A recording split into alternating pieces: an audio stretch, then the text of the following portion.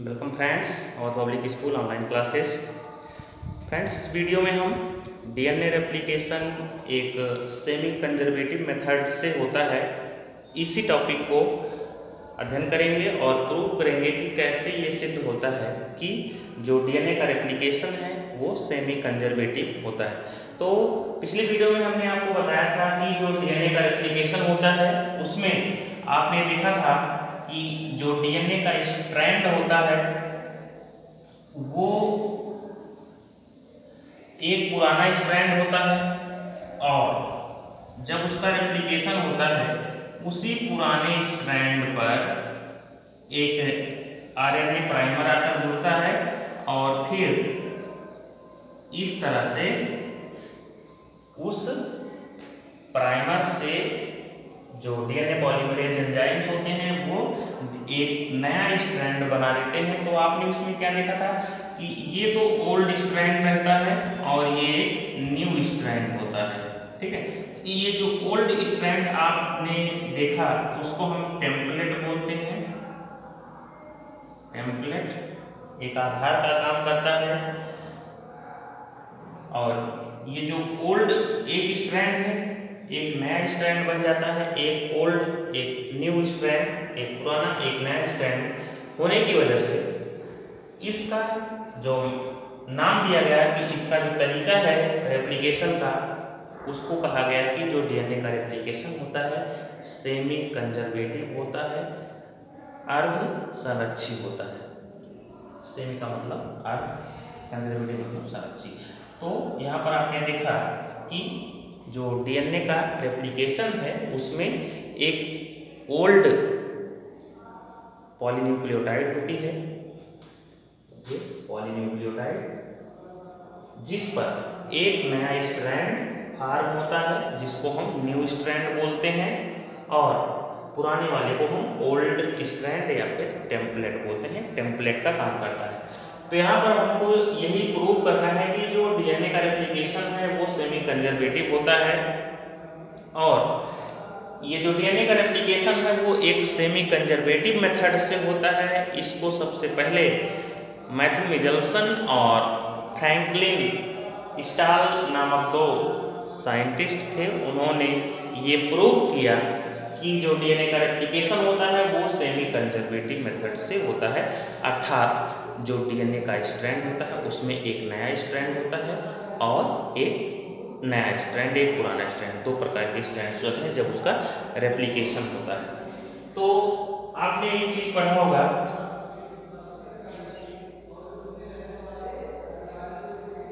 Archimedes सिद्धांत आपने पढ़ा है और उस आर्कमिडीज सिद्धांत के अनुसार कोई भी वस्तु किसी तरह में कब डूबती है और कब तैरती है। सपोज़ ये कोई एक वस्तु है, ये आधी डूबी हुई है, आधी तैर रही है, और दूसरी एक वस्तु है, ये जो है डूब गई। ठीक? और एक ऐसी वस्तु है जो यहाँ पर ऊपर तैर रही है। तो आप यहाँ पर देखेंगे, ये कोई लिक्विड है इसमें आप देखेंगे आर्कमेडीज सिद्धांत के अनुसार, अगर किसी वस्तु का भार हटाए गए द्रव के भार से अधिक है तो वो वस्तु डूब जाती है। अगर उस वस्तु का भार हटाए गए द्रव के भार के बराबर है तो वो जो वस्तु होगी वो डूबी हुई तैरेगी। और यदि उस वस्तु का भार हटाए गए द्रव के भार से कम है।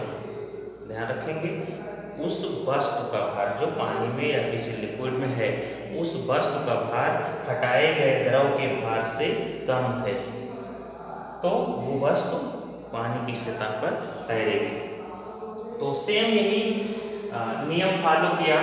मैथ्यू मिजल्सन और फ्रैंकलिन स्टाल ने इन्होंने एक सीजियम क्लोराइड का सॉल्यूशन लिया।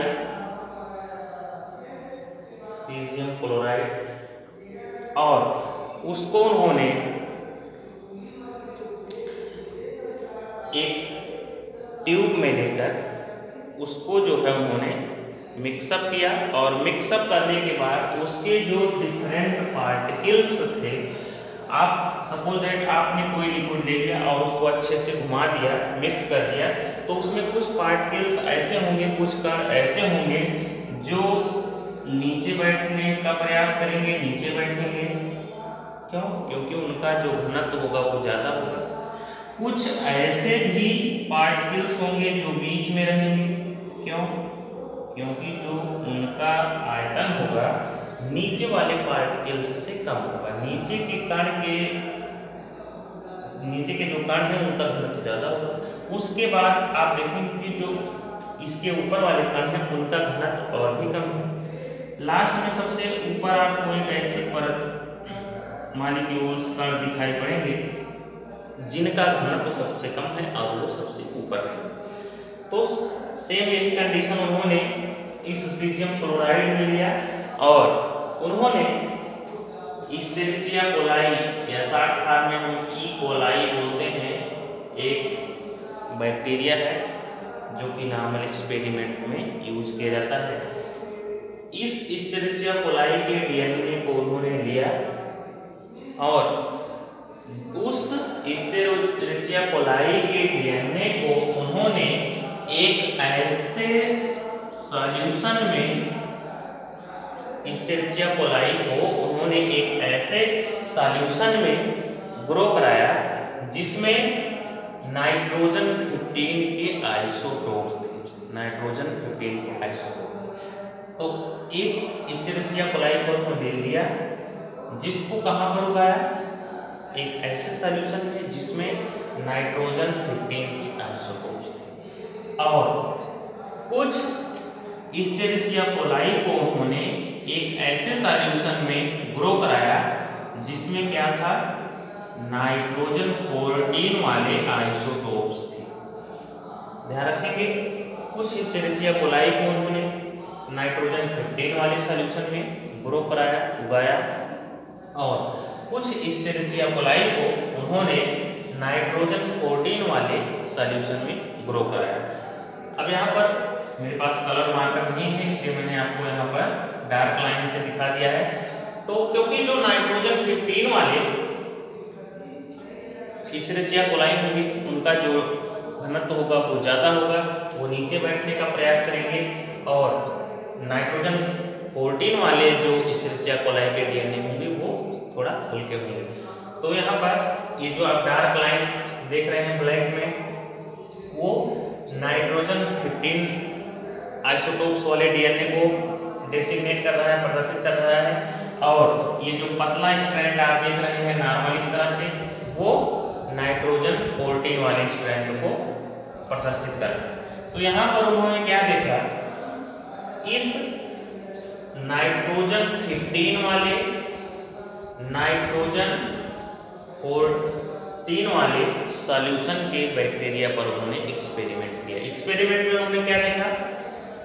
उन्होंने ये एक्सपेरिमेंट किया कि जब उन्होंने एक नाइट्रोजन 15 वाले सोल्यूशन में बैक्टीरिया ग्रो कराया तो जो डीएनए के दोनों स्ट्रैंड थे, आप जानते हैं कि जो डीएनए होता है डबल स्ट्रैंडेड होता है, इस तरह से तो उन्होंने देखा कि जब नाइट्रोजन 15 वाले सोल्यूशन में जो बैक्टीरिया को उन्होंने ग्रो कराया है, उगाया है, उसके जो डीएनए के दोनों स्ट्रैंड हैं, वो 15 आइसोटोप रखते हैं।